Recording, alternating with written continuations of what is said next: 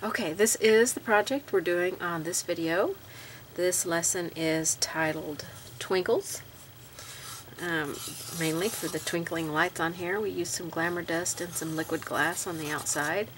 And this is just a rustic little snowman. I just had a fun fun time painting him. And this is a wooden plate that you can get. Um, I got this one at Bear With Us. So, uh, but you could paint it on any surface. I gave you the measurements for the circle and everything. So let's get started on this adorable little snowman. Alright, let's get started on our surface here. now, it's raw wood, so we've got to seal it. And um, you can just apply a coat or two of multi-purpose sealer, or you can mix it in with your base coat. so I'm going to mix it in with my base coat.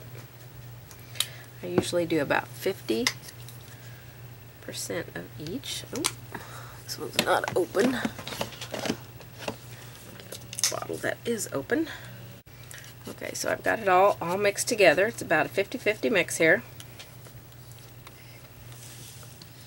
Okay, now I like to apply mine with a dampened sponge. This is just an artist sponge. It's just stained from using it with different colors of paints.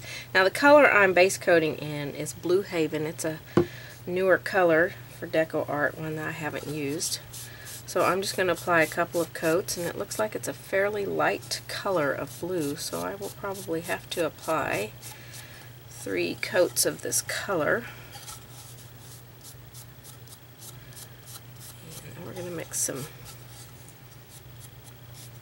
some colors in the background to give it a, a nice little mottled background. I Not too often I just leave my backgrounds plain.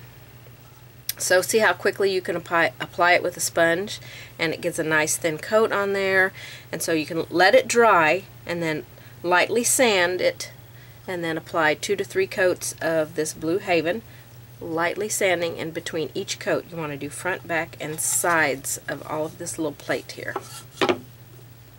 Okay, I've got all my coats on the front side here of the Blue Haven, and I went ahead and painted the, the back of it Wedgwood Blue.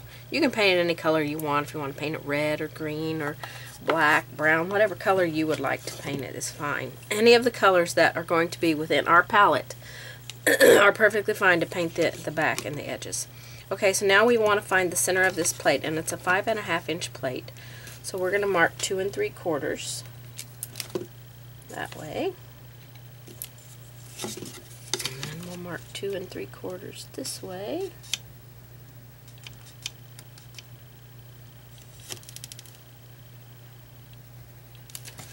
And we'll get them to meet right there.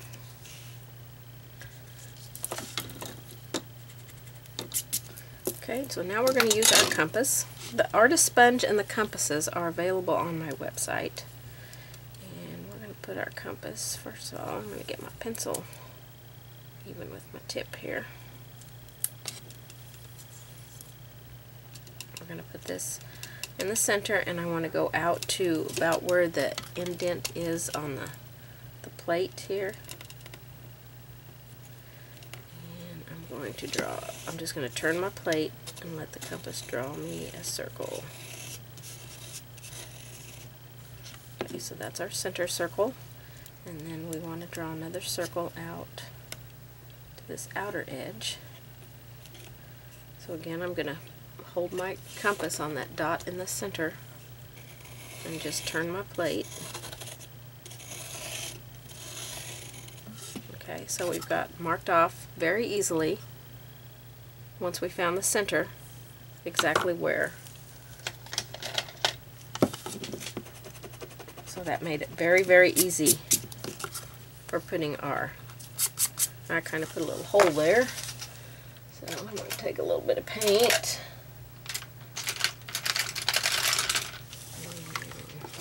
Just cover that hole right now so it's not distracting for me.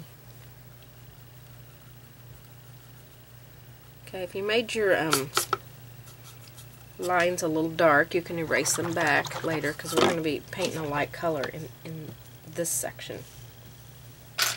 Okay, so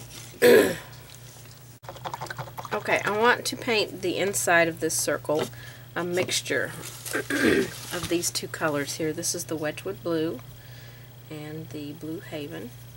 And we just want to kind of get a, a mixed where it will make a like medium value blue in there. And I've got tons of water in my brush. You don't want it too dark because I still want to be able to shade in there later. But we want it a little bit darker. And we're just going to follow our circle here. And fill it in with two coats of your mix. Whatever color you're happy with when you mix it is going to be just fine. You don't have to be exact and precise. Just get a nice color that you like in there. Try not to go outside of your line, so don't push hard on your brush so that you won't make it go too far out. Like I did right there. Alright, so I'm going to let this dry, and then I'm going to come back and apply a second, possibly a third coat on here. I also plan on using sapphire blue in here, but I thought it would just be too bright so I like I like this mix. It's a nice soft, although on the camera it looks a little bright, but it's a very nice soft blue. So um, I'd say it was probably two Blue Haven to one Wedgwood blue um, if you want a ratio, but you saw that I just picked up a little bit and mixed it to a, a color value that I liked. So I'd like for you to learn to do that same thing. So just play around with your paint and mix it and get a nice color that you like. Okay, uh, I finished getting my base coat started on here. Now, uh, I, I believe I initially said I was going to do something different in the background, some kind of modeling, but after I got it base coated and the center painted in, I, I didn't want to do that because I thought it would distract from our focal point, which is right here, this cute little snowman. So what I did was um, I painted this outer circle with Snow White, and then this inner circle, I believe, because it's been a couple of days since I started this project that I said to mix Wedgwood Blue and Blue Haven. Um, it was still a little bit too dark, so I, I came back and mixed Wedgwood Blue and Snow White. Excuse me.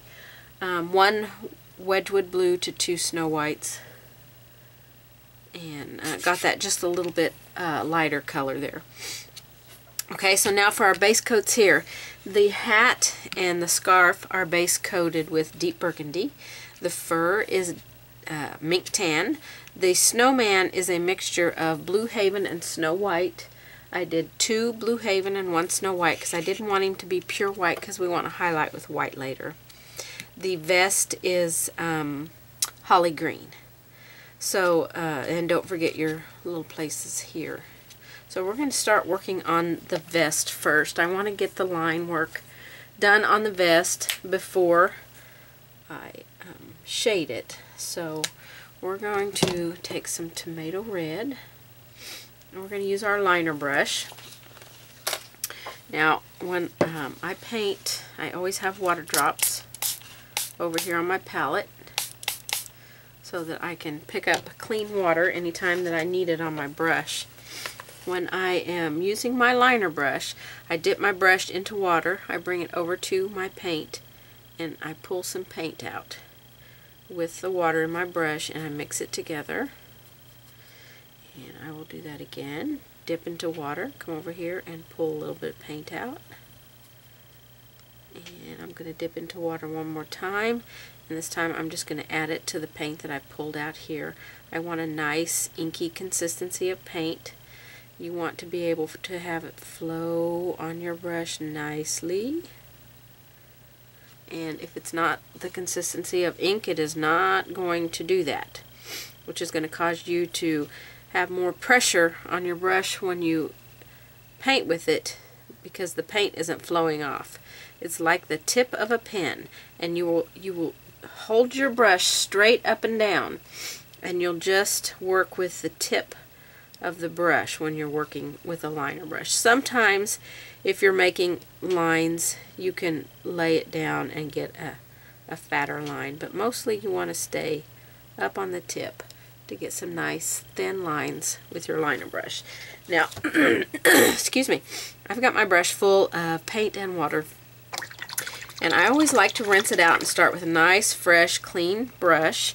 I like to make sure my ferrule is completely dry because any water that's on here, if it runs down your brush, it's just going to make a big old gloppy mess on there. And you don't want that. So now I'm going to load my brush with that paint. And we're going to paint in some um, plaid on his uh, vest here. So we're just going to draw some lines in here, or paint some lines in here. This one right here in the very middle, that's the, that's the seam line, um, where his buttons are going to go. So remember, he's kind of fat, so we kind of want to get these to curve a little bit with this jolly old elf, or jolly old snowman. He's not really an elf, but okay, so I'm just going to take this all the way across even across our center line, that's okay.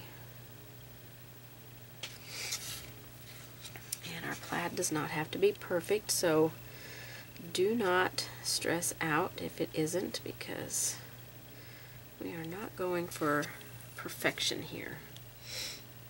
Okay, and we're going to have a trim line, a trim of this red paint as well.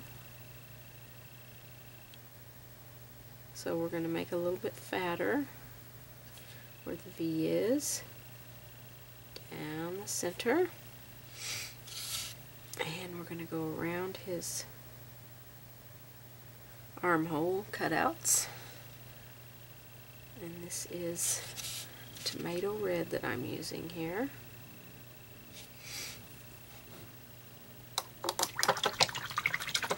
Okay, I want to erase my graphite lines eraser here. now this plate, I can't remember if I've mentioned already, but it came from Bear With Us. And all that information will be um, in my packet. It's a five and a half inch plate. Um, I want to make sure my paint around my armholes and everything is dry so I don't smear through it. So I'm just going to erase my graphite lines because I just drew them in with this chalk pencil here, with a, with a, um, I drew them in with this dressmaker's pencil, which I have available on my website. I have this eraser available on my website. The um, artist sponge that I used at the beginning is also available on my website, and the compass. So if you are needing any of those tools, you can get them there when you order the packet. That's still pretty wet up there, so I'm not going to erase that. Make sure you brush your eraser shavings away from your paint. You don't want to have them end up in your brush and get all over.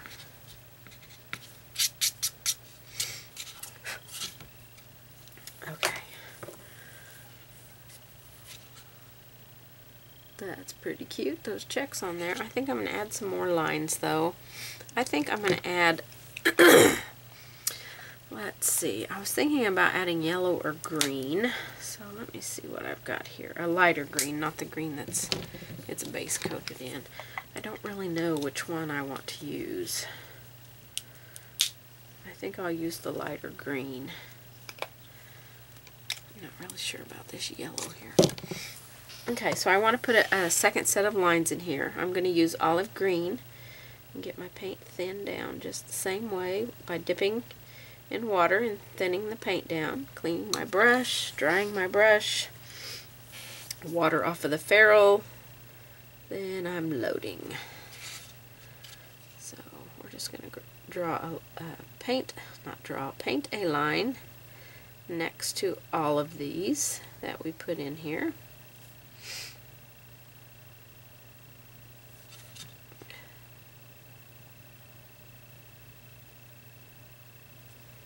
Except for the armhole and the neck hole there. We won't do that on there, but we'll come and do here as well.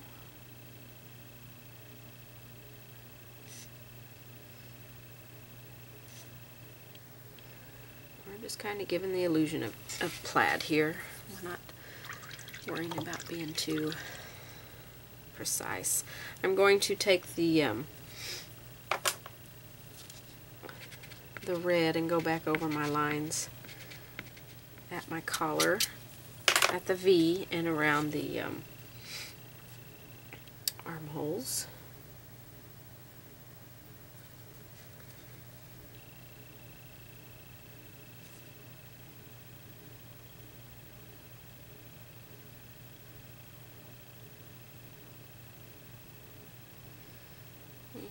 center. So define that a little bit more. Okay, I'll come back and touch up my white here. Okay, so there's our start to our vest there. Okay, I'm going to draw uh, a little bit of a line in here so we can kind of see where our scarf kind of wrinkles up there. I initially was going to make some uh, stripes or some checks on the scarf, but I decided not to do that because I wanted the checks to be down here. So um, I'm going to draw a couple of buttons in right here. so we'll be ready for that. Um, I think I want to work on shading on the snowman. So I'm going to take my Wedgwood blue we're going to use a, a, six curved flat. Uh, these are my favorite brushes. I sell these on my website uh, as well. They are my favorite, all-time favorite brushes for, for uh, floating and shading. So we're going to take our, we've, we've, got a dampened brush. Now I didn't show you this um, when I was base coating, but when you are getting your brush ready to use. So let me get a dry brush. So this brush is completely dry here. Has no water on it. So it's not ready to, to be used yet. So what you want to do is you want to wake the brush up. So you want to let the bristles fill completely with water. So I push it against the side, back and forth on each side for a little bit. You'll see bubbles forming in the around the bristles as you push it against the side, which you probably can't see it at the angle that I have this at, but once it stops um, making bubbles as you push it, like air bubbles that's coming out from the bristles, then I'd say your bristles are completely full of water. So now your brush is conditioned. It's got the water in it, the bristles are plump, they're awake, it's ready to paint. So you're going to take a paper towel and you're going to lay it on this side and lay it on this side and you can dry the ferrule part off and that will wick away any excess water out of the bristles and the brush is ready to go. It's ready to work for you. So um, having your brush conditioned and ready to go for you is very important. So once you've got that, you can just start loading your paint. And I like to the smaller the brush, the more frequent you have to go back and pick up paint because it just won't hold paint or carry paint. So um, if I need water, I'll go over here to my clean water drops and pick up some water on my brush. Come over here and dip the, the flat edge or the pointy edge into the paint and then I like to just load into a little V right here. Now I want this uh, to be a very soft color so I'm going to work it into my brush along with that water until it starts appearing very soft. I don't want any hardness. We're going to be paint, uh, shading on the snowman here, and so I don't want, um, you know, it to be very dark. That's a little bit of a darker color than I probably would normally use. Okay, let me get the mop brush. mop that, which will take some of the paint off and soften it down. So I'm going to keep that color underneath the, the hat there and then along the scarf line here. Lay your brush flat where you can. If you've got plenty of water in your brush, you can just walk that along. You know, how your brush looks when you load it on your paper that's exactly how it's going to paint for you. So when you're loading it, if it if it's not enough moisture, you're just going to create a hard little line of paint on your palette paper, and so that's exactly how it's going to paint for you. So um, just be aware of how your brush is, is doing as you are um, loading it, and that will help you know and be able to feel what your brush should feel like and how the paint should look right there on your palette. It's not going to be any different once you come over here to this, to your project, than it is on the palette. It's going to paint the same. So we just want to shade on the snowman. We're going to go under the hat, along the chin, around the armholes, and the V. Okay, and that's with that Wedgwood Blue, very sheer color of it. Um, I like to use a little bit more sheer colors when I am floating, so um, if you've painted with me before, you know that's how I like to paint. If this is your first time, then I would say just practice loading your brush like that a little bit to where, to where as you um, as you're loading it, the paint, I need water here, the paint is more sheer over here on your palette. And so when you go to paint with it, it's going to be a sheer color. And you can build on top of that instead, and this will help keep you from getting really hard lines when you float. Um, lay your brush flat, give soft pressure, a uh, little bit of water. If you can't seem to get the right amount of water in your brush, you can pre-dampen any area that you're floating. And then just don't add any extra water to your brush so it's not too, uh, it doesn't make your paint just disappear. Um, so that's just a tip to help you as you're learning to float to be able to control your float a little bit better. Okay, uh, we're going to do the eyes right now and the mouth. And I'm going to use a one round brush here. And we're just going to base the the eyes and the mouth in with soft black. Now I like to make my eyes and mouth look like they are actual pieces of coal. So I like to kind of wiggle the, the brush a little bit and give the eye a little bit of roughness there.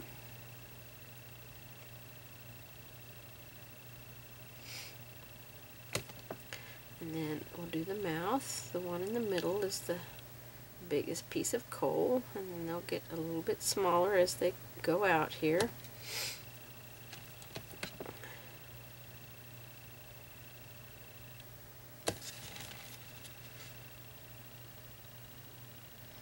Okay, we'll have to repeat that because soft black will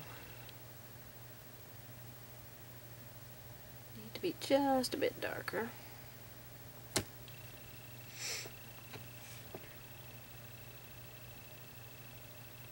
That wasn't quite dry, so I probably should have waited because I just dug a little hole in his eyeball. Okay, we're going to make the nose um, tomato red. Cold little nose doing this one a little bit different than my other snowman. Usually I give him a carrot nose, but I decided with this one I wanted to do something a little bit different. Okay, I think while we have the soft black, we'll do the buttons. That color as well.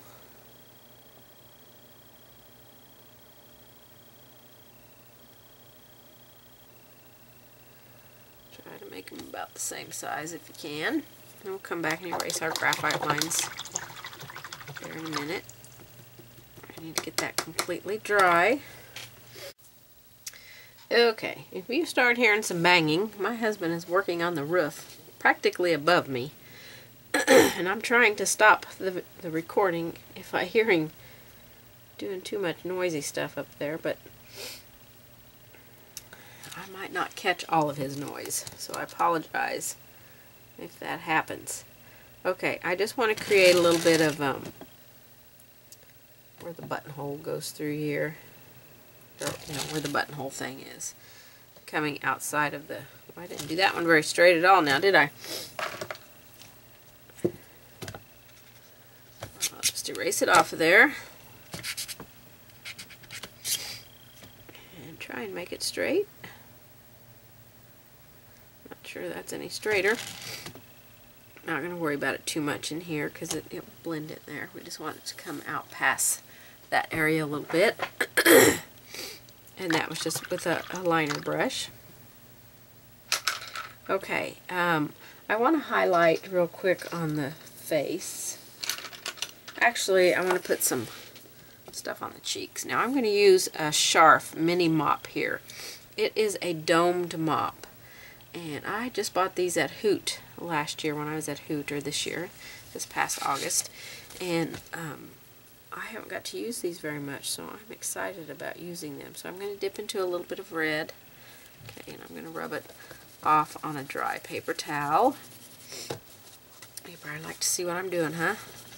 Just trying to remove as much of the paint as I can because there's still going to be paint on here to blossom up the cheeks. Or maybe not. I think I removed a little bit too much, so let me try that again. This brush might be just a tad bit too soft for doing what I want to do with it. I'm to I'm to work it out. Excuse me.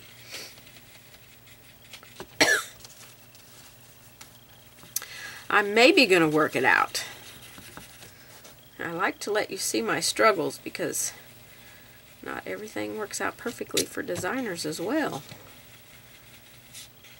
Especially when I like to try new things. And I got pink clear up there between between this little guy's eyes. And I don't think he's going to want that, so I could try and touch him up a little bit.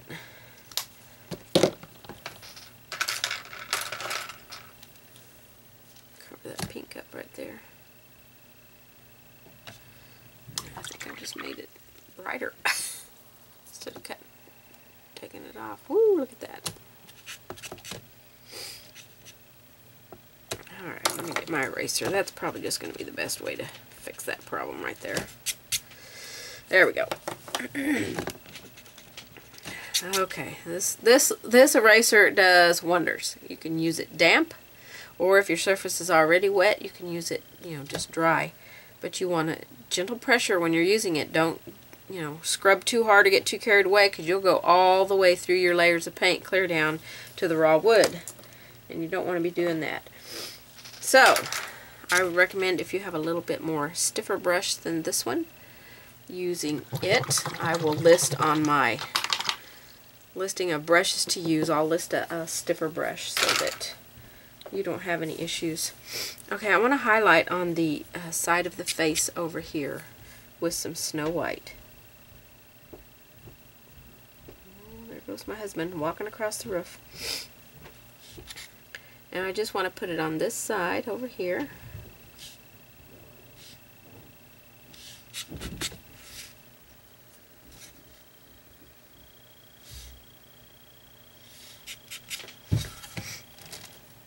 This is the brightest side.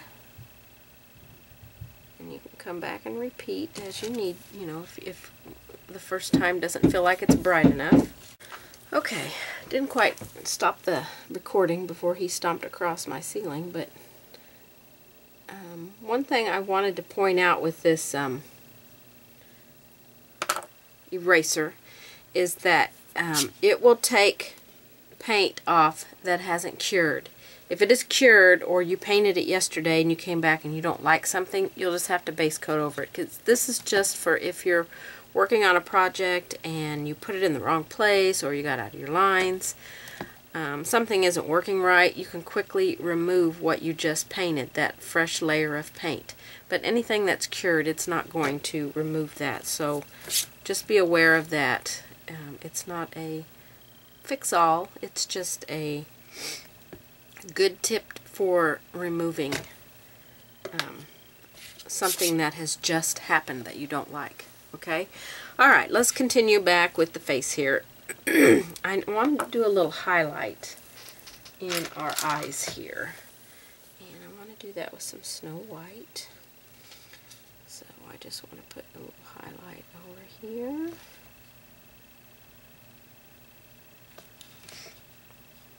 We'll put a little bit on the nose and a little bit each, maybe, if I can get the paint to come off my brush, on each section of the mouth.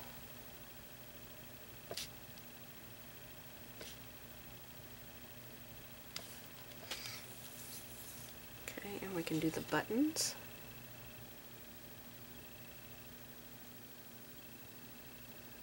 And we can do a little bit on our button openings here. Buttons, I think actually I want to put a um, buttonhole. So I think I'll mix a little bit of soft black and white and try and make some buttonholes on here. Maybe I'll just do straight white, I don't know. Four little buttonholes. That one's a little big. He's a rustic little guy. Okay, so now let's shade around the eyes and the nose and the mouth. We're going to come back and shade on that mouth in just a second. Uh, or on the nose, not on the mouth. I want to use a, sheer little float of that Wedgwood Blue. And I'm using my 6 curve flat, and we're just going to go on the left or the right sides of everything on the face. If it's a little tight area, stay up on the toe a little more.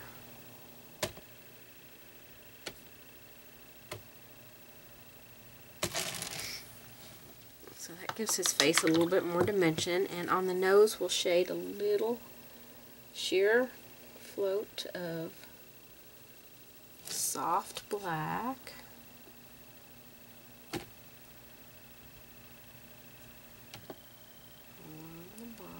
notes.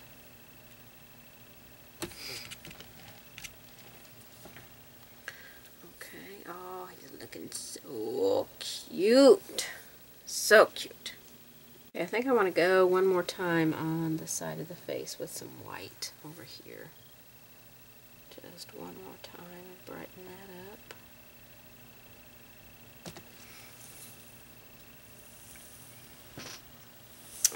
Okay.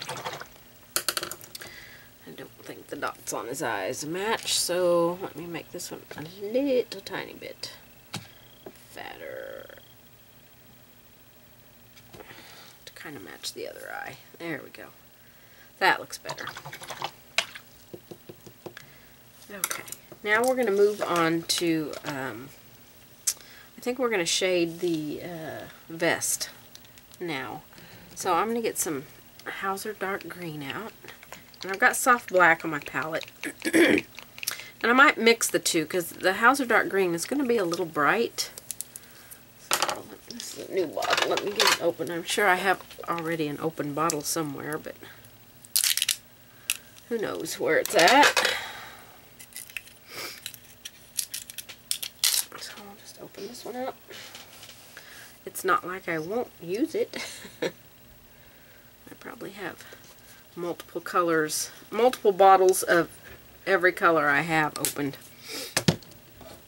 Okay. Um, I'm going to stick with my 6 curve flat and see if it's going to be wide enough. I'm going to see if this Hauser Dark Green will also be a dark enough color for me. I don't know if I, I might need to darken it. I don't know if I'm going to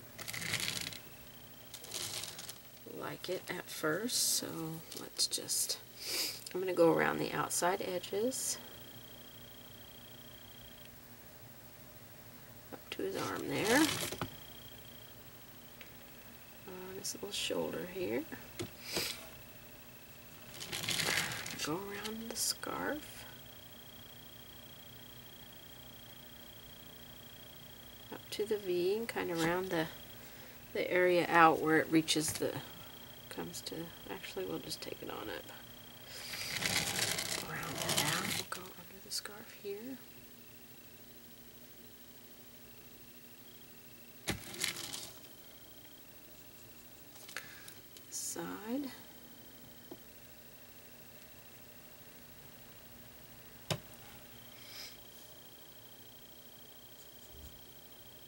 This is with Hauser Dark Green. I'm going to go around the armholes here.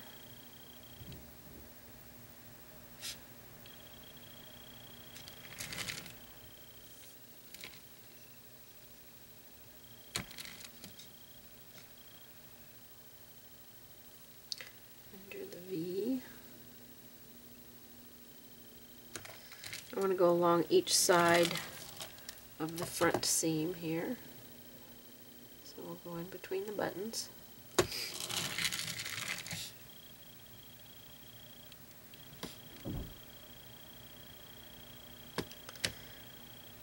I'm going to try to go underneath the buttonholes here.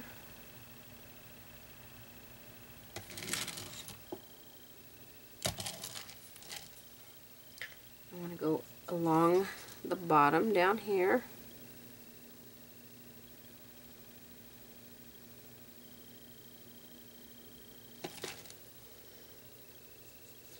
And here.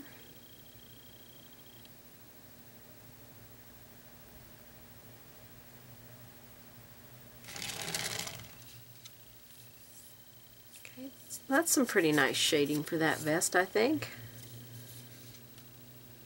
Okay, I'm not sure I'm liking his button. Those button buttonholes are just standing out too much, so I think I'm going to paint back over them with some soft black.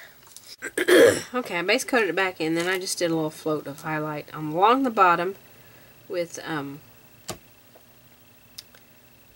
uh, Snow White and a little bit of the base color. Now I'm trying to put some buttonholes in here again which I'm probably not going to like, so I don't even know why I'm attempting them.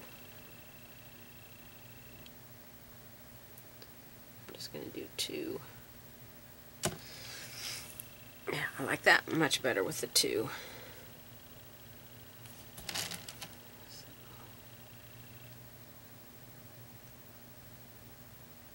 I'm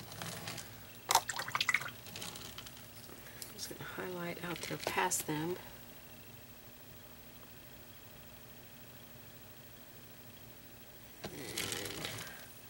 reline that little hole we'll cut out, which is probably way too big for that vest, but we'll just go with it anyway.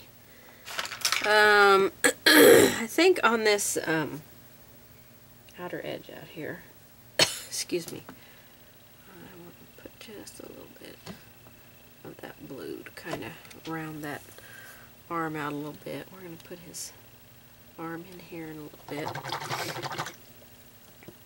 Okay, I want to add a little highlight on the um, vest. First, I want to add some highlight on the red. And I want to do that with some Neon's Fiery Red. Just a little bit of that. I'm just going to put it along on here. And a little bit around here. Just kind of brighten that red up a little bit. I think I'll take a little bit of it and streak it on some of the red stripes. Now this paint you shouldn't need to thin down too much when you're using it with a liner. It's a little bit thinner than the bottles so it will flow off a little bit nicer off your brush.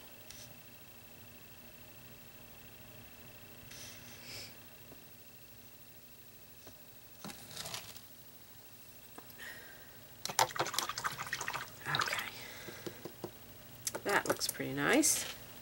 Okay, let me get my little scruffy brush that I should have used on the cheeks. I'm going to use it to add a highlight on the vest a little bit. Um, this is a Loew Cornell uh, quarter inch crescent brush. I also sell these on my website. So I'm going to dip into some olive green. I'm using the brush dry.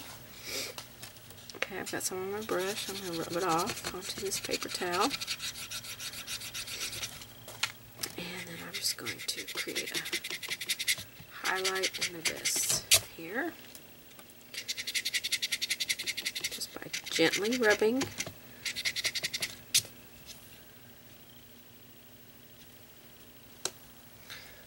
mix a little bit of white in there with that. Lighten that green just a tiny bit. And then come back and add just a little bit brighter spot there. Okay, that looks pretty good right there. Okay, so I think that's going to finish up our vest for now. Um, we'll see if we need more details to it you know, after we get the hat and the scarf done. But right now I'm really liking that little rustic vest that he's got. Okay, let's work on the um, hat and the scarf now. So uh, we're going to shade with, I'm going to get my deep burgundy out. So that's the color we based it with. And uh, I want to add some soft black to, to the deep burgundy. so I'm continuing to use just my six curve flat here. Oops, helps if you put the right end of the brush in the water. Wake your brush up. Okay, so I'm going to pick up a little bit of the deep burgundy and a little bit of soft black. Probably be good if I got some fresh paint.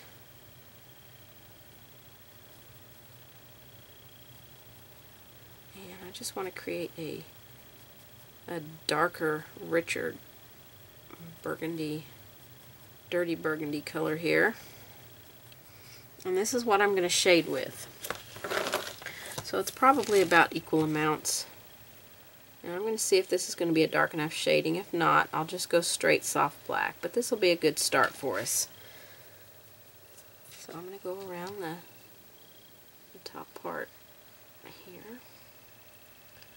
I'm going to bring it down here to this little, that little line that I had drawn there is a little like wrinkle. I'm picking up water and paint as I go back. Okay, this is a little indent here, so we'll add a little bit in there. And a little bit here, a little bit down here at the base, where it comes into the ball. Okay, I think I probably will have to darken that a little bit. okay, let's do the scarf. I'm just loading my brush a little bit more. So we want to do, we want to create a um, wrinkle in the scarf here. And I'm not going to take it all the way across. I'm going to stop it about there, and I'm going to have it coming from this side. I'll stop it about there. Know, now that I look at it on camera, I might just go ahead and take it all the way across. Maybe not quite as wide. Okay, we're going to go underneath here. And here. And actually, now that I see this, I'm going to change my mind. Right here, I'm going to change my mind. I am, because that was wet. I mean, that paint wasn't cured. I could, I could um, just erase it off. So, erase this shading here too, because I don't want the shading to be there.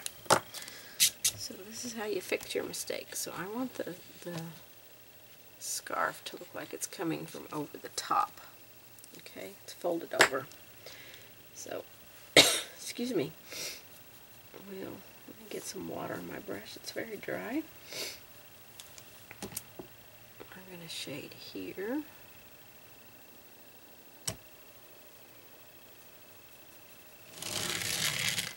And along here.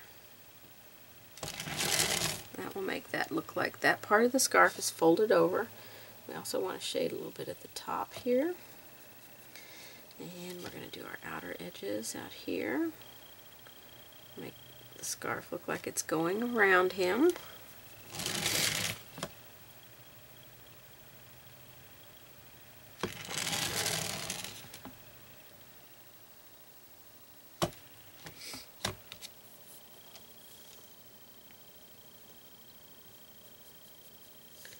a bit more water. A little dry on my brush. The, these smaller brushes just don't hold enough enough water or paint. so I'm going to go back around here.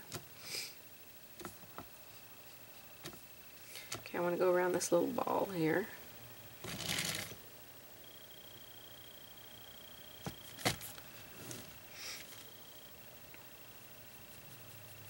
pick up a little bit more soft black.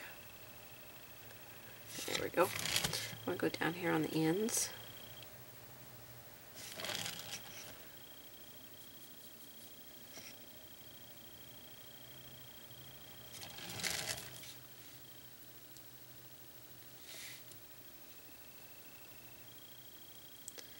Okay, I think I will go on the um,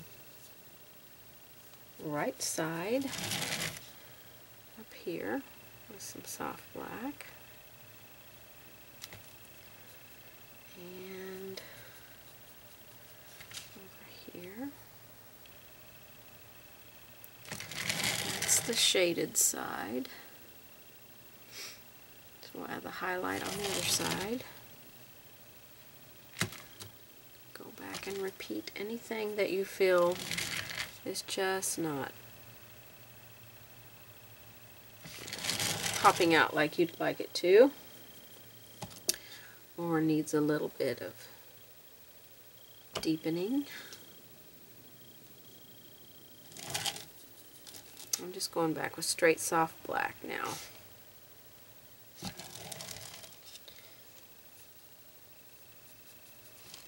I'm going to do this outer edge here again.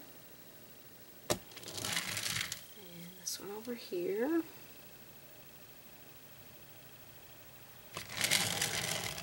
And Along the top here. And then we'll go along this edge here.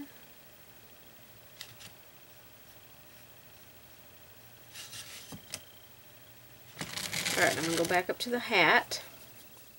Get some more water my palette here. And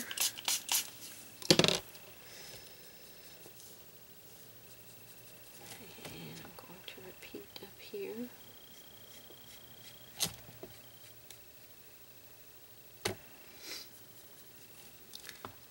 This little indent here, and here, and right here. Okay, that looks pretty good for our shading. We're going to come back and add our highlights now. Okay, for our highlight on here, we're going to use that Neon's Fiery Red. Erase my little line here. Okay, so we're going to put it on all of our high spots on our hat.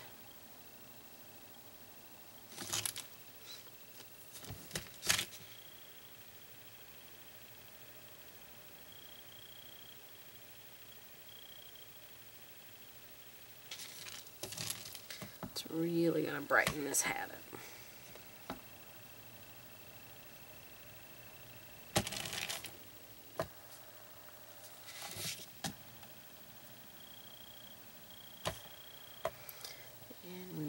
this on our scarf as well. On all our highlight areas.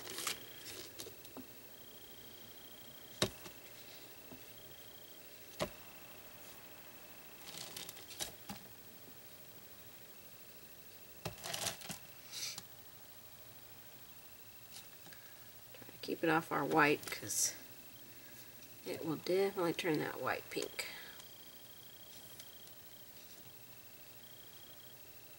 over here.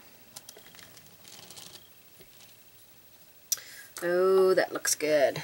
Okay, I'm going to go back and repeat that.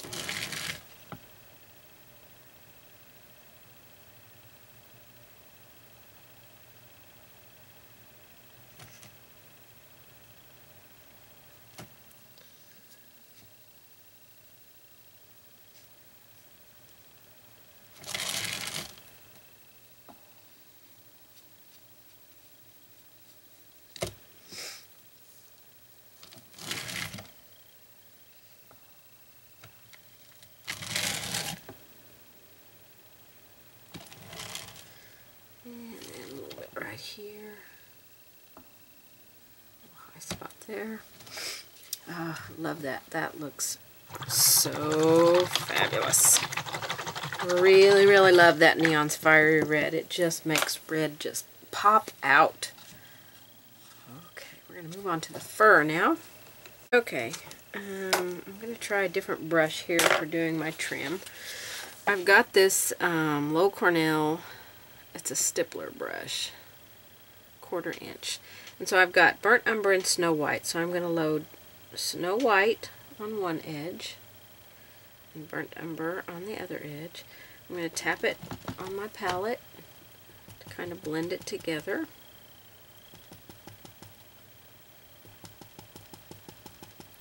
I've got both colors on my bristles there. So I'm going to start tapping this on here. This look a little bit fuzzy. I don't want it to be all white, so get a little bit more burnt umber in here. I just want the white to kind of be a highlight, so if you want to go in and do just the burnt umber first, This brush might be just a tiny bit too big. I'm gonna, I'm kind of tipping up on the the brush so I don't lay too much white down. Just want this to be a fuzzy little fur. I want it to be more like a mink fur trim. You know, because he's a rustic little guy.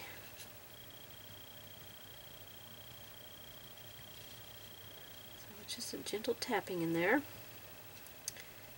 we'll come back and do a little bit of shading on here. I'm kind of getting his fur out of control here on the side. So I can get it back in control there. And then we'll do the, the little ball. It's going to be a little bit tricky with this bigger brush. So I'm going to put the white over here on this side. And then the burnt umber a little bit more over here try and blend them just a little bit. There we go. Uh, like that. That's really cute. I'm going to have to come back and shade on the face again, I think. But that is a cute, cute hat now. I like that. That that turned out a little bit better than I expected it to. So this little stippler worked pretty well for that. Um, kind of had to lean it on on an edge here and there to make it, you know, not cover too much.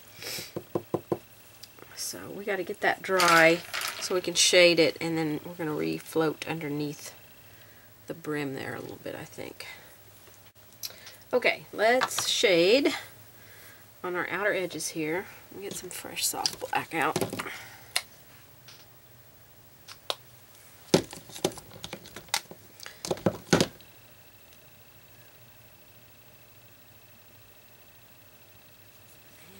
shade out here.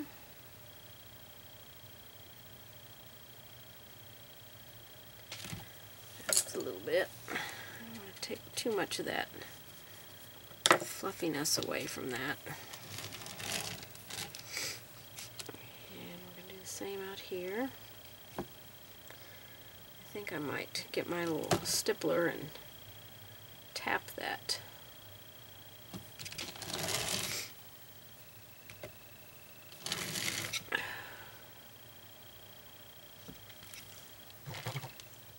Okay, let me go back underneath the brim here.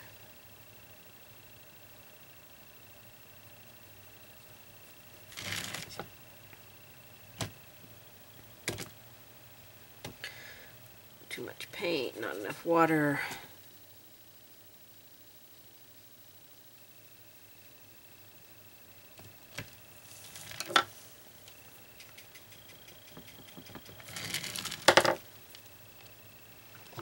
Okay, I think I'm going to take my stippler brush and dip into a little bit of soft black. Put that down here. That will kind of shade that.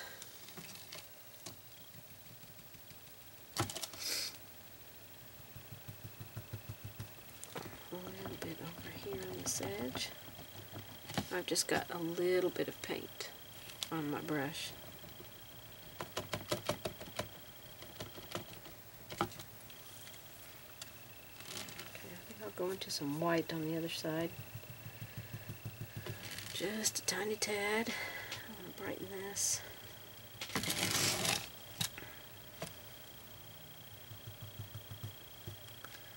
And then maybe just a little bit more soft black down here. Not too much because take away from that burnt umber, so I'm going to tap a little bit more burnt umber in there.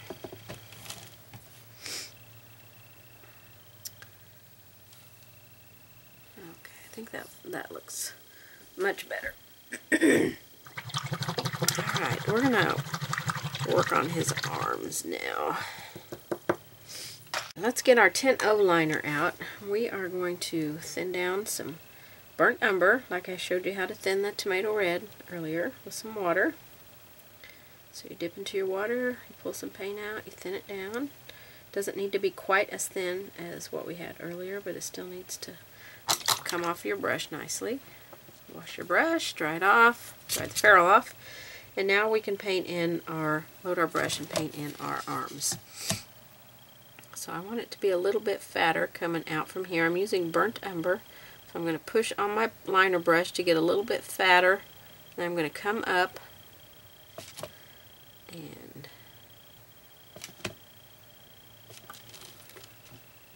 make it a little bit. Okay, and this arm, ooh, too much paint. I'm going to come above the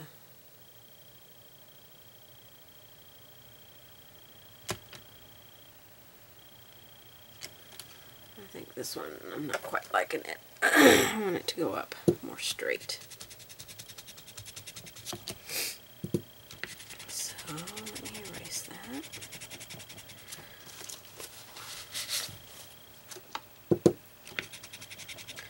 Damp eraser. Paint has not cured, so we can remove it right away. I think these erasers are indispensable. off of there. I'm just messing this white up. Okay. Let me try that arm over here a little bit. Oh, that's why I messed it up because I smeared through my I smeared through my paint over here.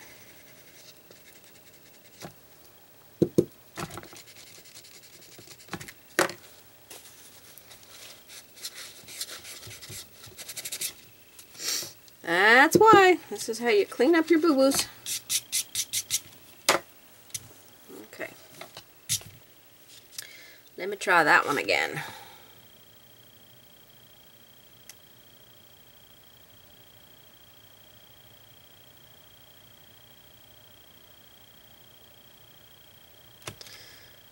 Okay. I wanted that scarf to be behind his arm here I'm not sure I'm going to like that, but maybe I will. Okay, so this one I want it to go more up this way.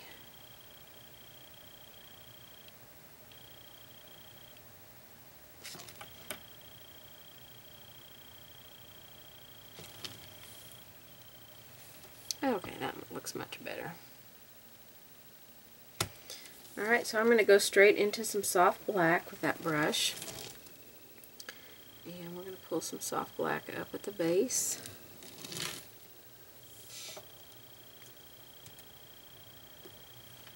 Put a little bit up in here where some of these branches are kind of behind another one. And same here. Ooh, paint. And a little bit up here. Alright, now I've got Mink Tan on my palette as well.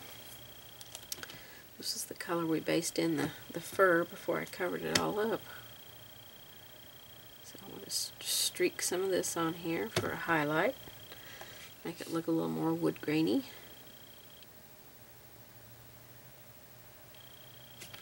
And then you can also add a little bit of Snow White if you want.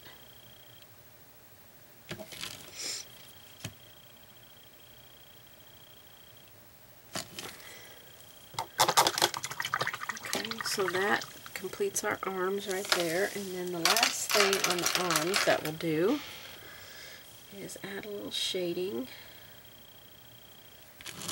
down here with soft black where it comes into the white part. You don't need very much paint on your brush for this. You definitely don't want to have a lot of water. I had a little bit too much water over here.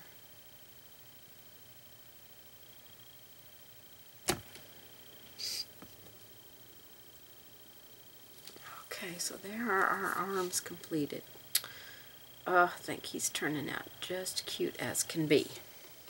Okay, we're going to finish the inside of the circle here. I want to just do a little bit of shading with the Wedgwood blue around the snowman itself. Not too much. It can be kind of loose.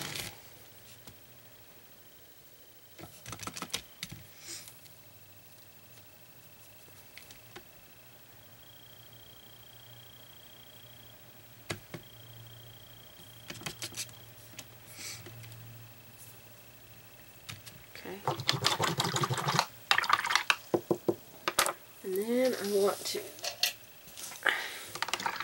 float the entire circle inside here, which I could probably do this later, but I'll show you how to do it now. You can always come back later and touch it up if you need to. We're going to go do something with that white stripe here in a minute.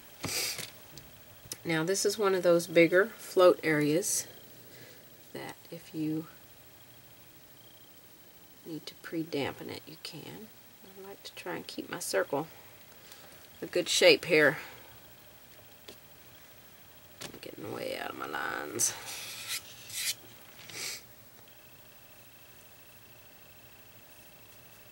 I probably need to get some fresh paint.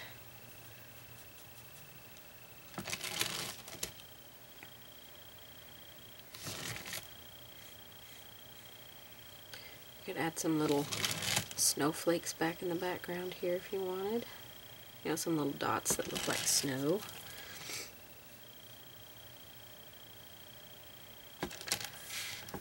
This is such a fun little snowman.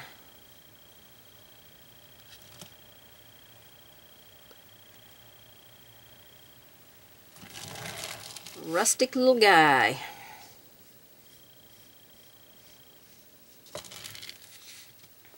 Okay, that sets the center off, and that completes the center of the circle here. the center circle completes the center circle. I'll get that right. So now we're going to work on this outer circle here, and then we're going to put some other stuff around the outer edge here, I think. Alright, I've taken some, some of the Hot Shots Fiery Red.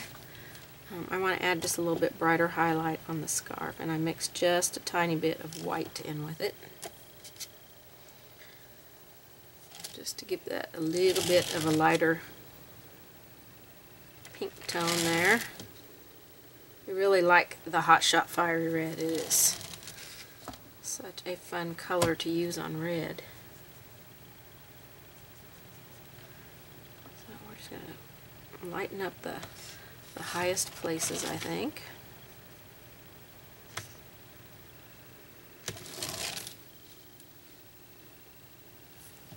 Maybe a little bit more on this scarf since it's kind of front and center. Okay, I think that makes that scarf pop just a little bit more.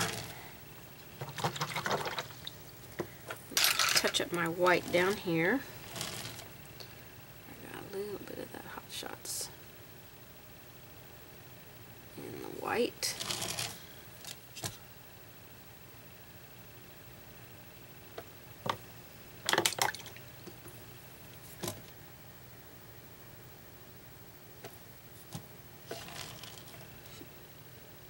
Cleaning it up with damp brush. Okay, I want to move on to the holly on the hat here. And we're going to base the holly leaves in with holly green. I am just using a one round brush.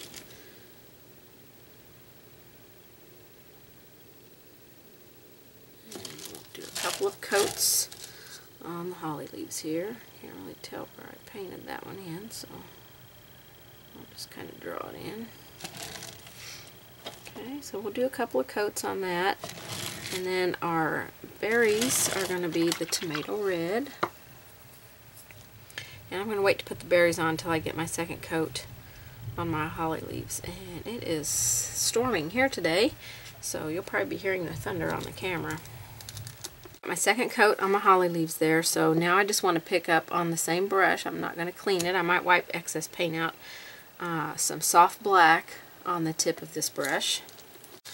Okay, let me zoom in just a little bit here.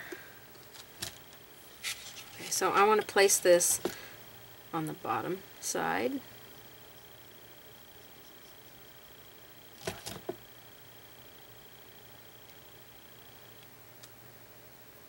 And more towards the right because the right will be the, the shaded part.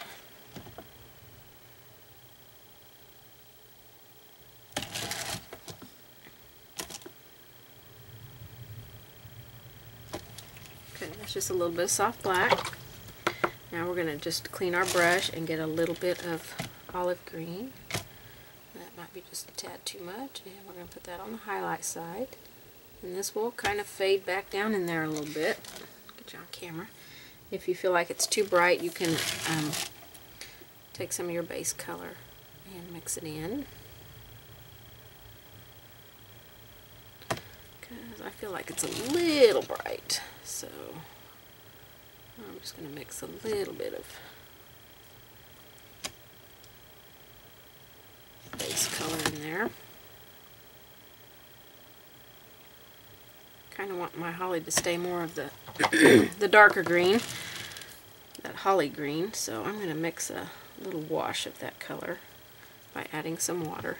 And I'm just going to wash it over it. We'll keep our shading and highlighting, but it will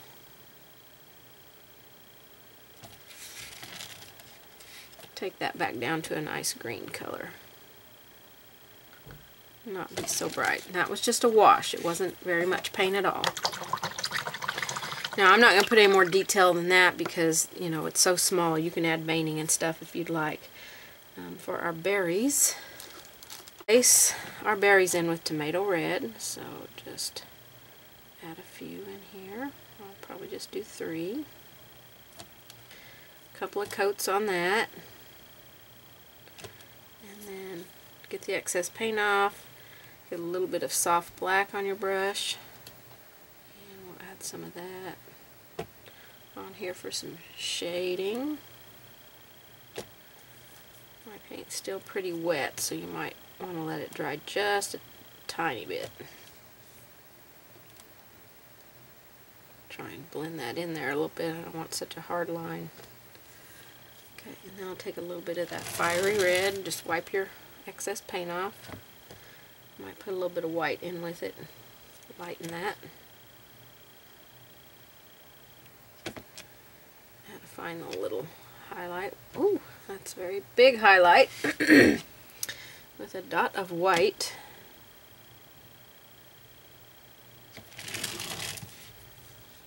Okay, that one's just a little bit too big, so I think I'll take some of that off. There we go, that looks much better.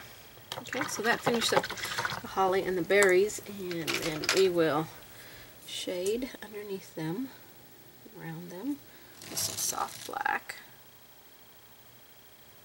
Give it a little bit more depth here.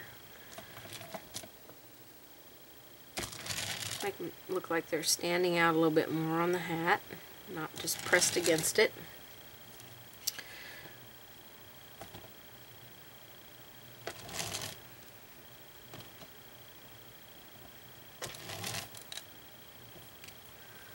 Okay. So I think that will finish off snowman nicely. Wide angle back out a little bit so you can see him. Oh, he's looking really cute. Okay, I've got my holly based in out here, but we're going to um, let those dry good. I just based them in with, with holly green. And right now we're going to work on this circle around the snowman here. And I want it to look like peppermint. So I've marked my marks and you'll want to transfer your lines very lightly and then I put an X in the ones that I want to paint red. It would be a good idea for you to, you know, this is probably going to show through my red, these X's. So, you know, if I can lightly erase them a little bit. then maybe it won't show through my paint as much. Alright, and I've got an 8 flat here. And we're just going to paint these sections in that are marked with an X with tomato red. Kind of follow the, the shape of your peppermint there. You want to have a little bit of water in with your paint so that you don't get ridges and stuff. Excuse me. So we're going to do this all the way around and we're going to do two coats. Try not to get out of line because red is a little bit more difficult to clean up than some other colors.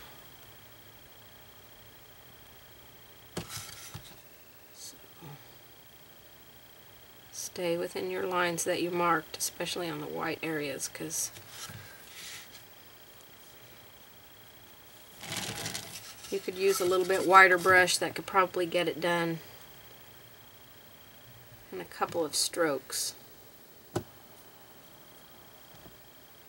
Make this one a little bit wider here.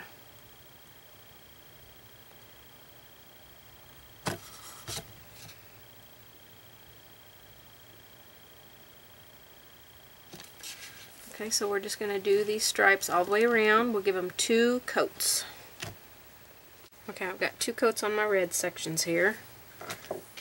erase a couple of lines here that I didn't quite meet. And, oh, well, I don't want that on there. I just flung red paint all over my... So take a damp brush, clean that up. I don't want that on there. Okay. Uh, I'm going to use my liner brush now and some thinned inky consistency paint. And I want to put some more lines in between.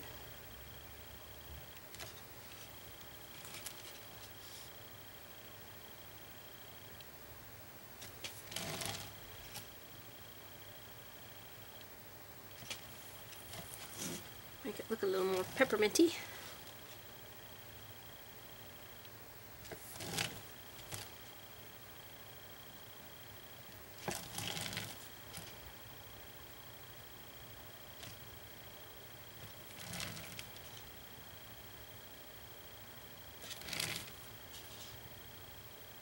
Stay up on the very tip of your brush. If you've got inky consistency, it will flow off of your brush just beautifully.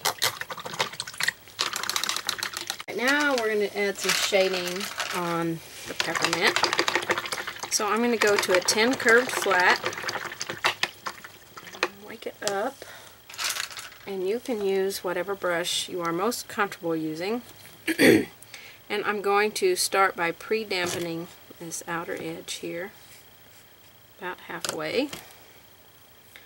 Load my curved flat with I've got uh, deep burgundy here.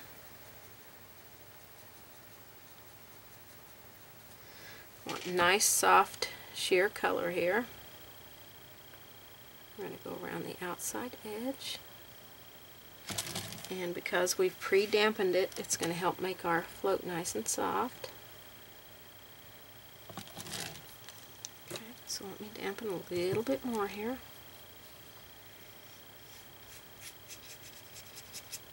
get the west, rest of the way around here before my water dries. I like to start in the red area because then I won't have a hard start and stop line.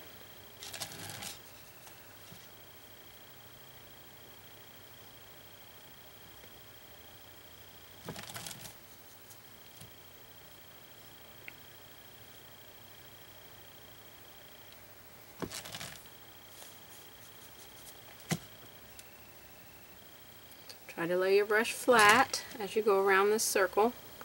That will help keep your your stroke nice and soft. And see, I didn't, I kind of lost my shape there, so I'm going to come back with my base color on the outside and fix this shape a little bit. Right here it needs to go out a little bit.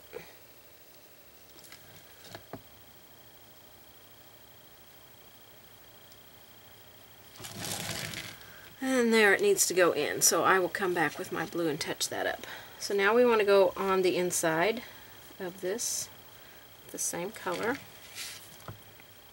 And you can pre-dampen it. I'm just going to go from red section to red section, and that way I won't have any hard places. A little bit more paint in my brush here. I don't want it to go over into the center, so I'm going to clean my brush off. I got my paint over just a tad bit too far.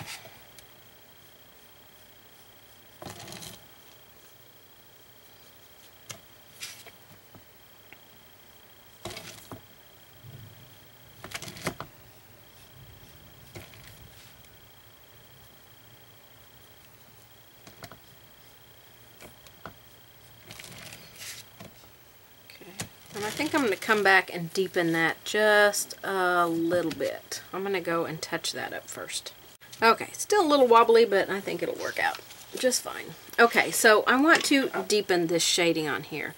So I'm going to take some of my burgundy and a tiny little bit of soft black, it's still wet, and just deepen that burgundy color just a little bit with some soft black. Now I still want to keep this a nice sheer float. So I'm going to pre-dampen. I want to do the inside area.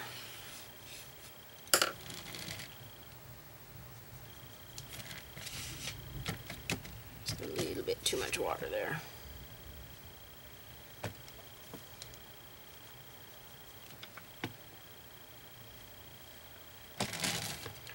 Remember to lay your brush flat, soft pressure.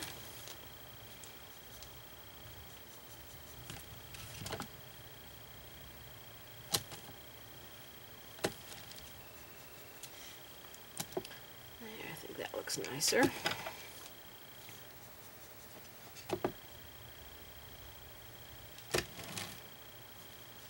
Because I have such a sheer color, I'm loading quite frequently. Don't want to get it in my center circle there. okay,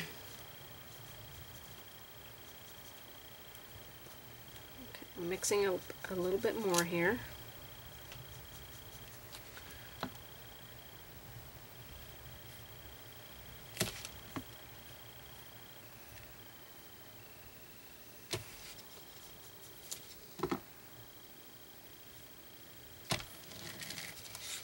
all the way around.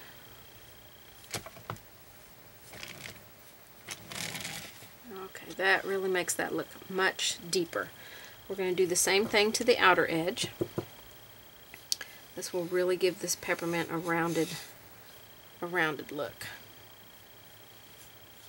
Pre-dampen. Then mix up a little bit. I just like to brush mix, so if you need it a little bit more controlled, then just mix you up a little bit because it takes just a small amount of paint. We have pretty sheer paint here. And the good thing about is if you get in the background, we can go and touch that up. Since it's a solid color. Can do any kind of texturing or modeling or multiple colors in the background that would make it difficult to touch up.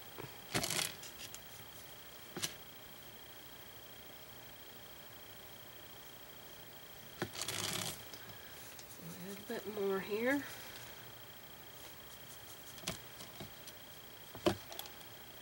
It's got a little bit too much soft black in it. So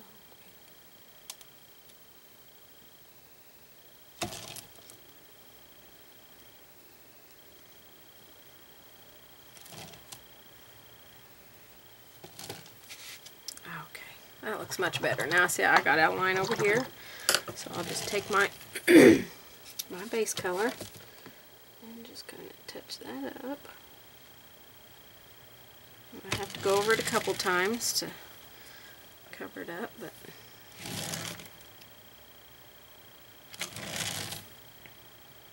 just as easy as that.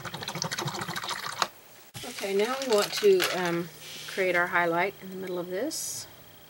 So we are going to take our Snow White, thin it down just a little bit, and then I'm going to start in a white area here and go down the center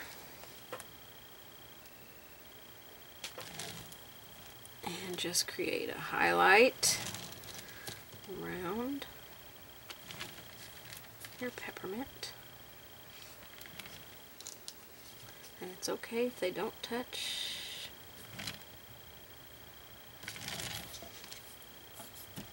Those don't quite line up. So let me just erase this part that's in the red. And I'll just come back and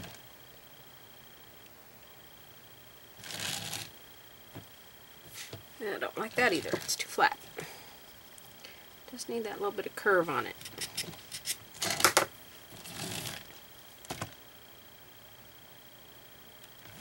Okay, that's better. And, and it doesn't have to, to touch. The, the highlights on here do not have to touch. okay, the last thing we're going to do to this center, we're going to shade around the outside of it on the, on the background. We're going to take our Wedgwood blue get some soft black out here. And we're just going to brush mix a dark blue color. So I'm just going to pick up each color on my brush and mix them. I want to get a, a dark blue. Okay, and again, you could um, pre-dampen That's a little bit too much there. So we're just going to create a nice soft float here. Soften that edge because it's, when I come to meet it, I don't want a hard line there. Soft pressure. mix a tiny bit more here. Oop, got some red in there get that off.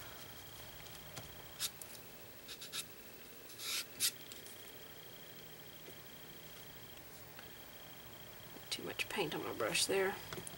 Okay, now we want to stay off of our peppermint. I'm just, I'm just really wrecking this here for you, aren't I?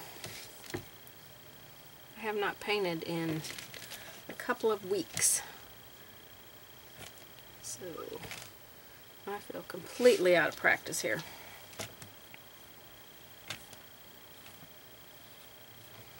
It's good to get in a routine of trying to paint a little bit each day, at least every other day at the at the least.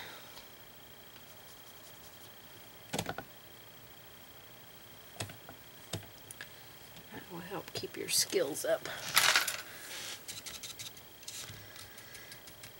Okay, let's see if I can, that's probably already dry, so I probably can't soften it. so I'm going to repeat that so that makes it not so choppy and will soften it back a little bit. So I think for this second time I won't pre-dampen.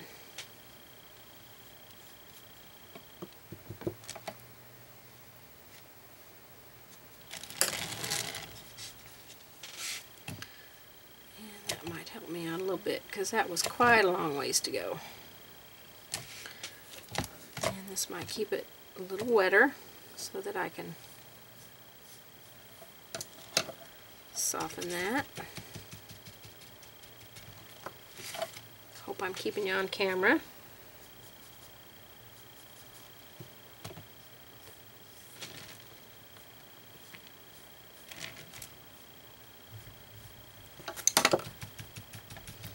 Use my mop brush. I like to use my mop brush to really soften when I'm floating large continuous areas.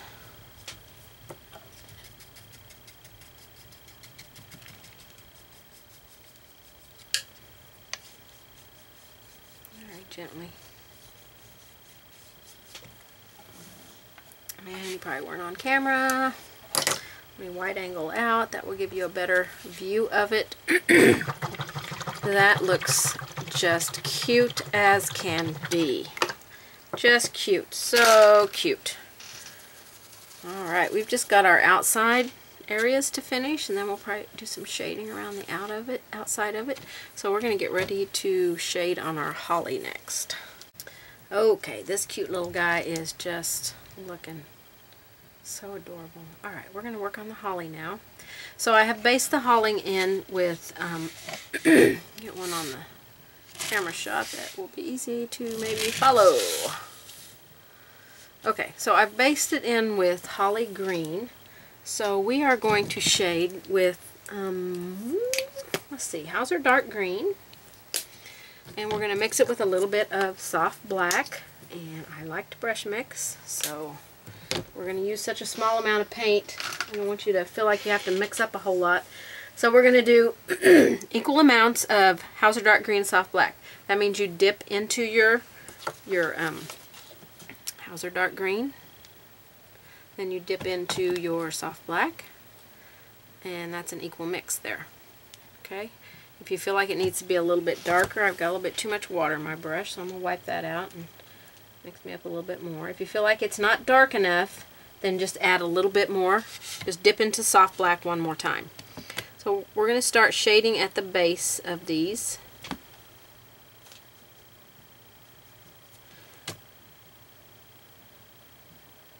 Soft pressure.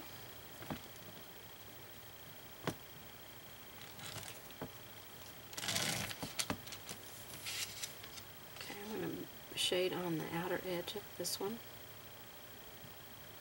A little bit more paint. I just brush mixed. I just quickly went and dipped in each color and blended it. Okay, so we get a nice shading color. And go over here on this one.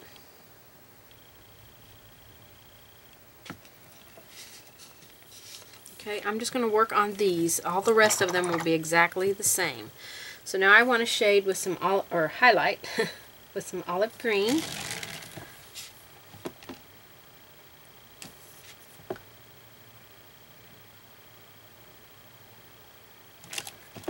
And I know it looks bright, but it will fade down in there a little bit. Gently mop that.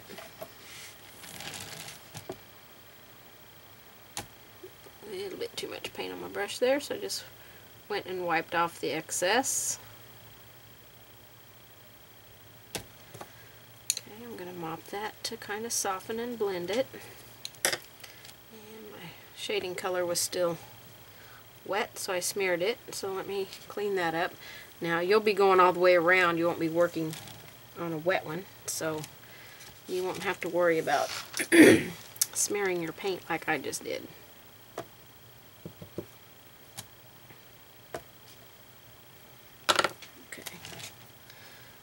Go to this one.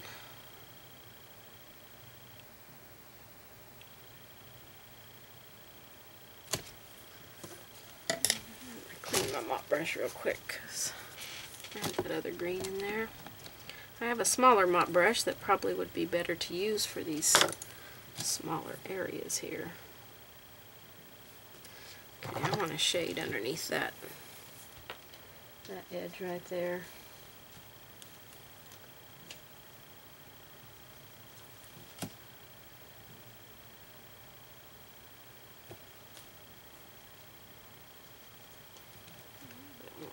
Mixed it. Okay, that looks pretty good. Now, these are bigger holly leaves, so we'll definitely want to add a veining in these. So we'll just add it with the, let's see. I don't know. Let's see if holly green will even show up on here. Might be too bright. Let's go into our Hauser dark green. And we'll just add some quick little veining in here. You can leave this off if you don't want to do this part. We're using a liner brush, thinned paint, so it will flow off of our brush nicely. we don't need tons of detail on our holly here. Okay. Now I want to um, put a little bit of green kind of back around behind it. So I'm going to go into my, my um, Hauser dark green and kind of just wash some green in. Maybe not quite that sheer around it.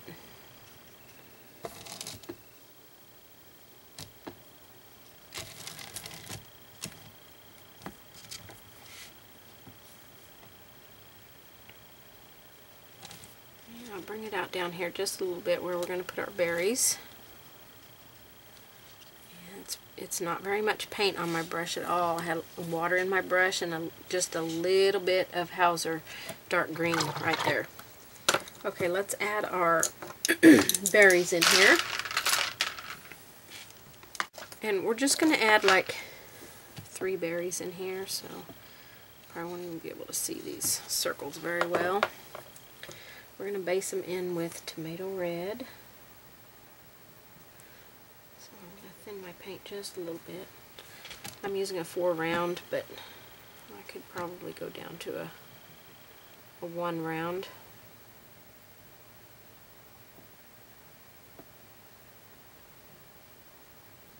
And we're just going to put three berries there. We're going to let them dry. Excuse me. And um, come back and put a second coat on. Alright, we're going to um, work on our berries now. Um, we are going to shade with deep burgundy and soft black mix. Just, let's see, dip into deep burgundy once and soft black twice. And just mix that. And we'll create our little shading. I'm using a six curve flat on here.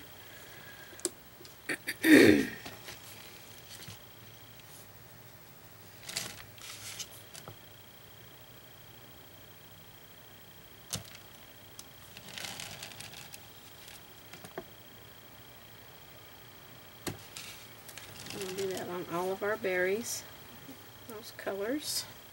We'll come back and repeat it to darken it.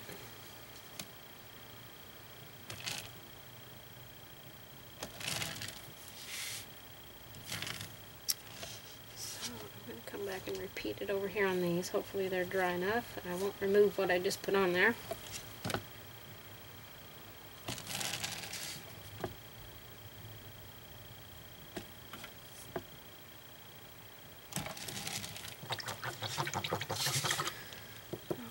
we're going to highlight with some fiery red, the Hot Shots Fiery Red. Now if you don't have the fiery red, um, on all of my reds, if you don't have the fiery red, you can highlight with um, Cad Red or Tangelo Orange. I really like to use Tangelo Orange on my berries because I like them to have that little bit of orange tint to them.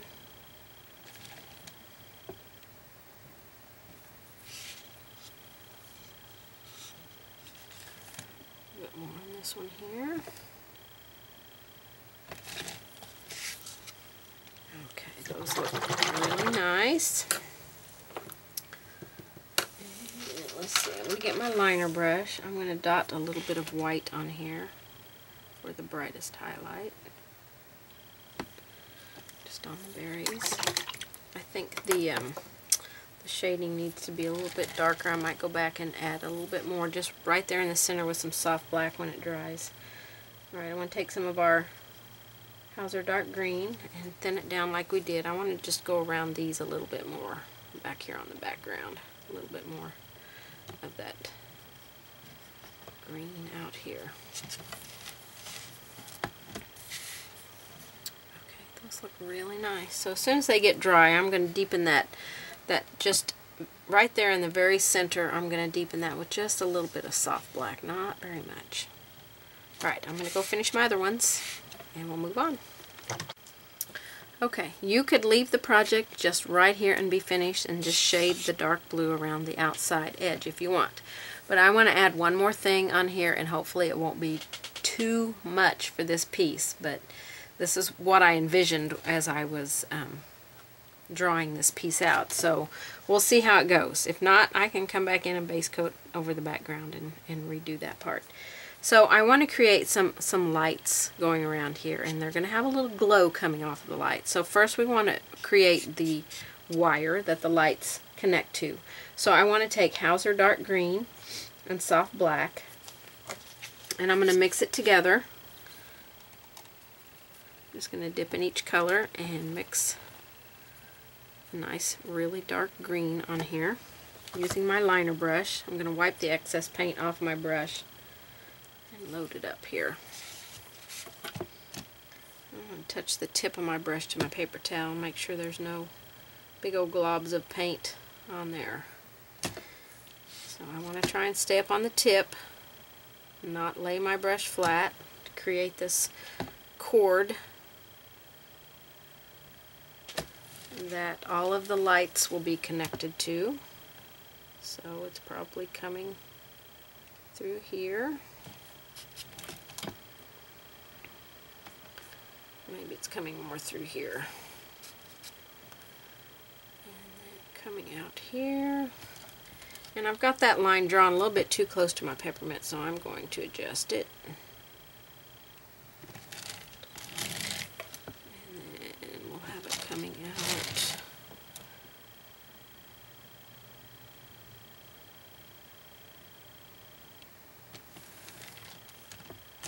There. And then through here. Pick up paint as you need it. Try to stay up on the very tip of your brush. Get it off my leaf right there. I don't want it going on top of my leaf.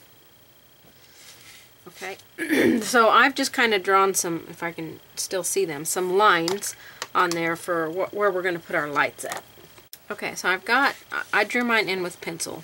Um, so if you do that, you want to try and not get it too awful dark. I've got mine a little bit darker just so you can see them. The colors we're going to paint the lights are um, tomato red, sapphire blue, cad yellow, and I think I'm going to use holly green.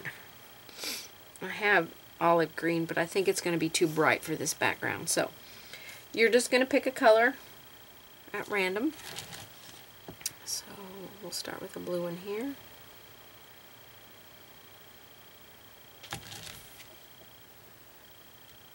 Okay, and we know we're going to have a red one, a yellow one, a green one, so you can go to a blue one here. Red one, yellow one, green one, blue. Red one, yellow one, green one, blue. And this is how you can get them done without constantly changing the color on your brush here your wide angle out a little bit so you can see the whole plate here. Okay, so red, green, yellow, blue. You can put them any order you want. Red, green, yellow, blue. Red, green, yellow, blue.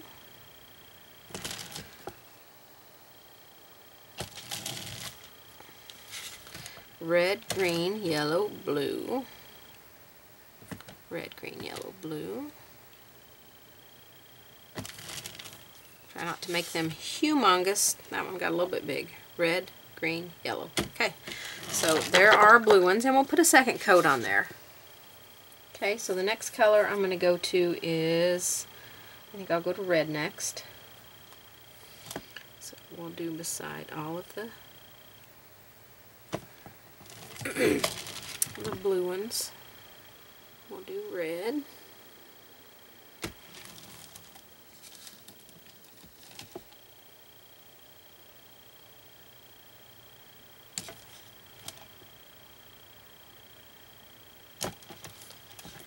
Not going to put tons of detail on these bulbs.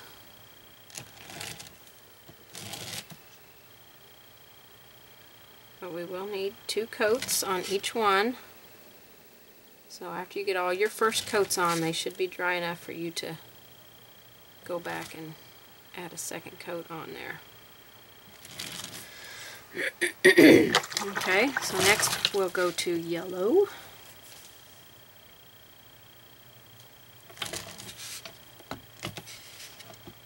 Oh, I think these lights are going to look really cute on here.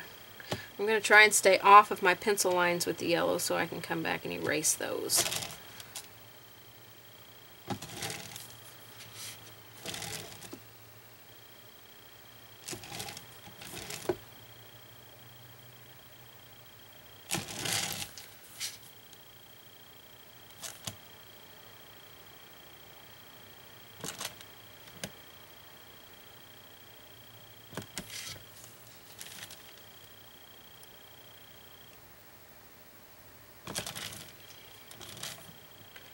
Yellow.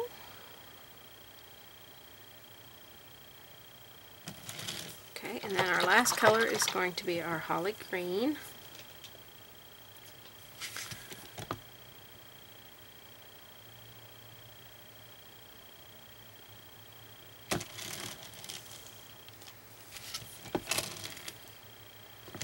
Got some water on my ferrule there. I don't want that to run down.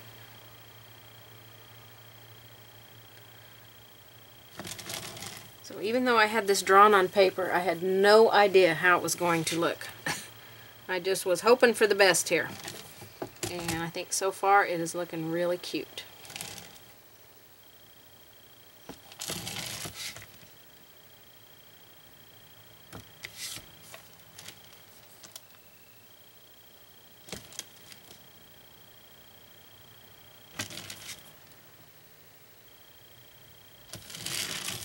Okay, so there is our first coat. I'm going to let this get dry and I'm going to apply my second coat on here. Okay, we're going to finish up this little guy who I've decided to title Twinkles. I think that's an appropriate name for him. Okay, we want to put some glow around our uh, lights out here. So you're going to want to have four small scruffy brushes. If you don't have four and you only have one that you like to use, then um, after you do one color, clean it really good with hand sanitizer and dry it out really good. The hand sanitizer will evaporate and dry very quickly and then you can move on to another color. Okay? Um, two of mine are Loew Cornell. These are the ones that I, I sell here. And then I've got a Royal and a Simply Simmons. So just whatever you have in a small scruffy brush. So we're going to have a dry paper towel. We're going to use our brushes dry. We're going to dip into our first color, blue, our sapphire blue. And we're going to put some on our brush. And then we're just going to rub it off on a dry paper towel. Okay, get as much of that paint off as you can. There's still paint in the brush. And then we're just going to very gently rub a glow of this color around our blue bulb. Okay? Just want to create that little bit of glow. Start with gentle pressure, and as you see how much is coming off, you can apply more pressure. I'm going to reload. Reload the exact same way. I'm going to start with very gentle pressure. That came off a little bit more than I wanted, so I'm going to take a little bit more off my brush.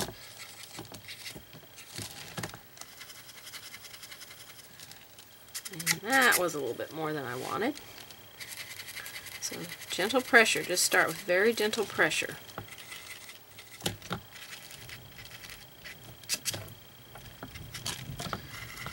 And just go right over your bulb that you painted. Create that little glow of color coming off of it.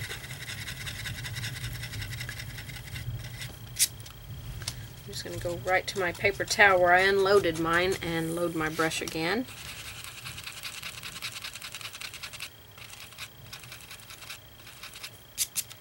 A little bit more paint. Just for that last one, it's not leaving enough color. Very gentle pressure. Circular motion around the ornament there. So we've got our glow for our blue ones. So I'm going to move to a different brush and we'll go to our red ones.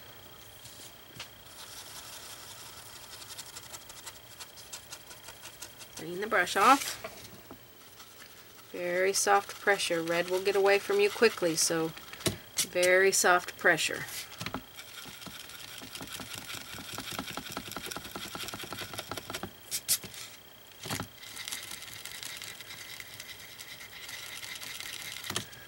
Brush is not super stiff. You want to have, you don't want really hard stiff ones like for fabric, but you want a little bit stiffer.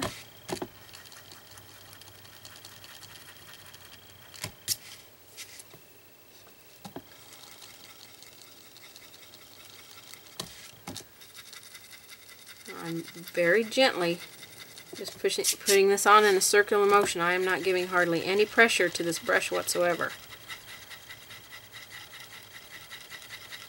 I'm just letting the paint come off of the brush on its own.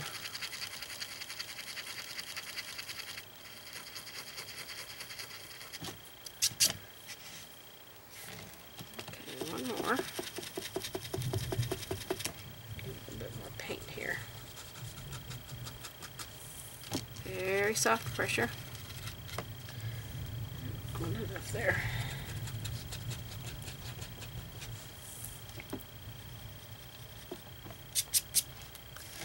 Okay, so there's our red. I'm going to move to another brush and go into my yellow.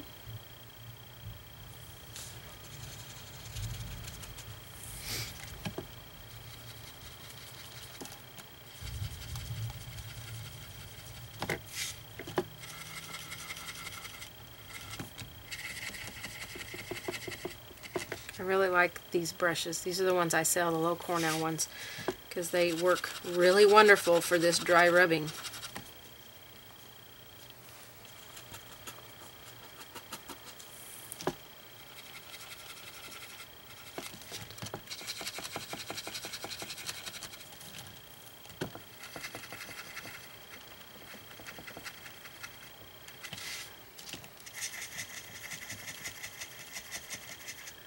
And I'll hold the paint a little bit better to help you carry it farther. Okay, we've got one more color to do here, and it's our green.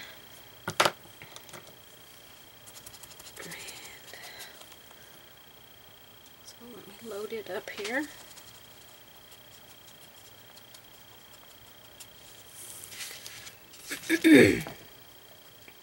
Very gentle pressure.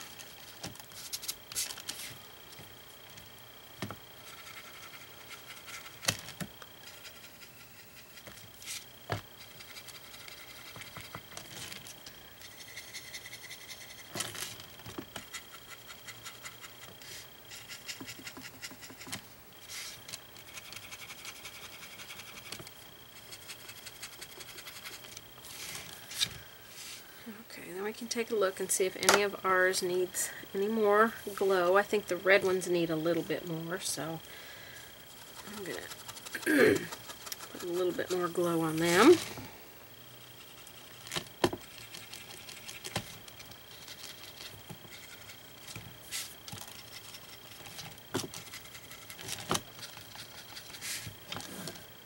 I hope I've kept you on camera for this whole thing.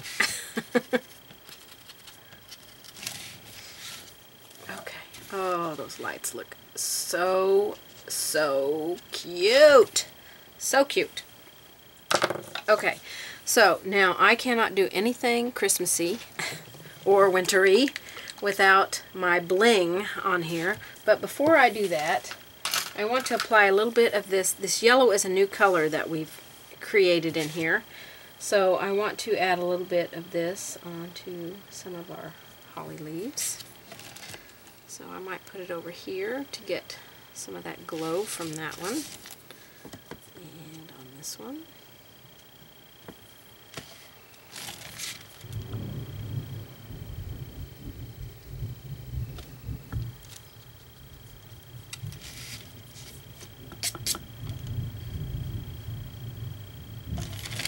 And I think we'll put, see if I can do it with this big old brush here, just a little bit on the holly leaves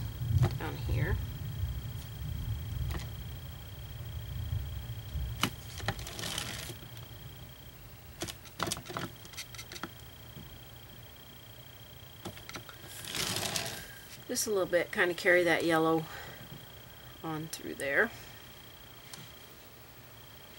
Oh, that looks really, really cute. Okay. I think before I add my bling on here, I'm going to go ahead and float my shading around the outside. And let me get some fresh paint here, some Wedgwood Blue here. Okay, Wedgwood Blue here.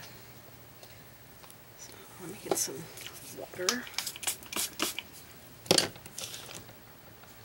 So this again is a very large area. So if you feel more comfortable, then you can apply some water. I wouldn't do more than two sides at one time. and then we'll just float some of this color around the outside edge here. That's probably a little bit too much water. I had too much water in my brush and too much water on the plate. You can only have it, you know, the majority of the water in one place. I don't want to cover up my bulbs.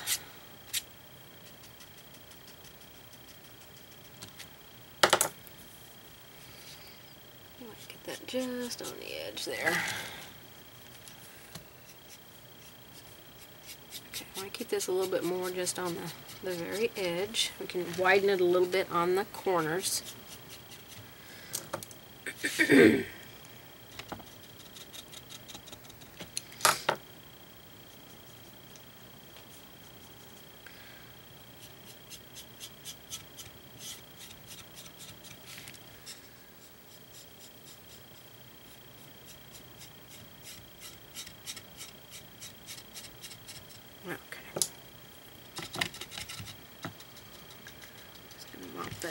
soften it out a little bit.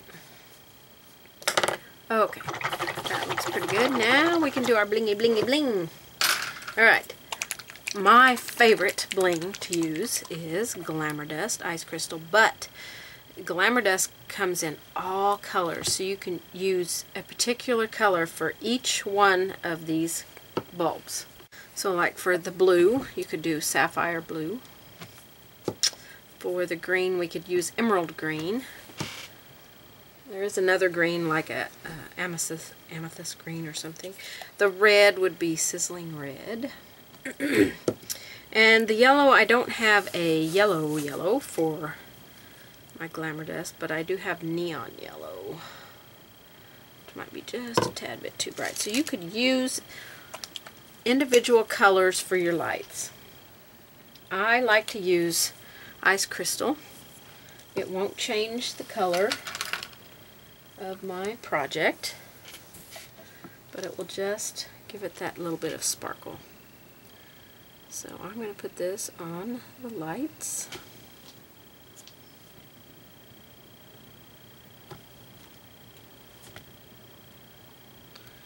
Sparkle my lights up. I may add it on my holly berries too. I haven't decided yet.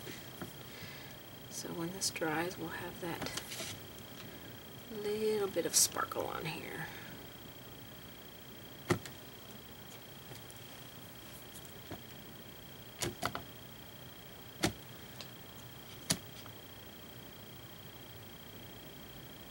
And you could probably also rub a little bit of this on the glow area if you want the, the glow around it to be sparkly.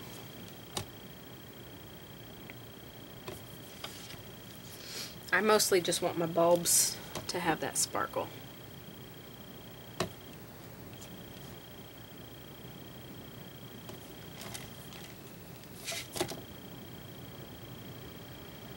Boy, the rain's really coming down out there now. It is just a rainy, rainy day here.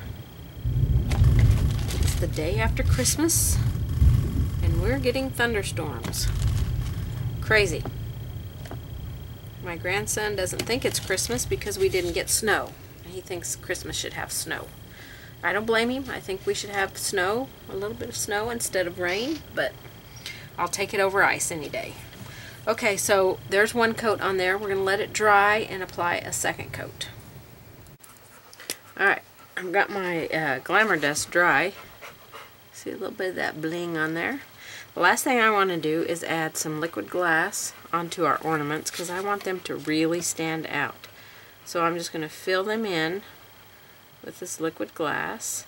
This will give them a little bit of a raised look. When this liquid glass dries, it will dry clear. So I'm going to go around and fill them all in. And then when it dries, we'll come back and check it out. Okay, so our liquid glass is now dry and our lights have that sparkle from our glamour dust but they also have dimension which I'm trying to show you it's a little hard to, to see the dimension but it's got the dimension from the liquid glass which makes them look like they are real glass bulbs so I think this project is now complete I'm very happy with how it turned out I thank you very much for painting with me and painting this lesson with me um, I hope you'll check out all my other lessons and videos on my YouTube channels and my website at www.lonnasstrokeofart.com. And thank you for painting with me, and I'll see you on the next one.